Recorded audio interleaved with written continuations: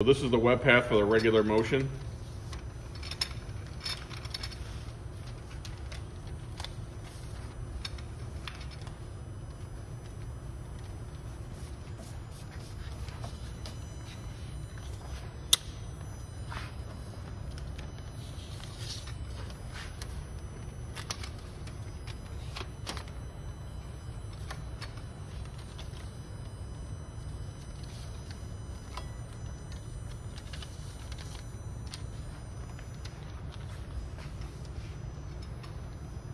Okay, we'll grab some tape.